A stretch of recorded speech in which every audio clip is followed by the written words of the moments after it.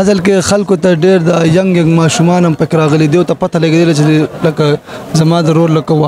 واده دی نو ماشاءالله یو یو کور نه شپک شپګه تا ته ماشومان راغلي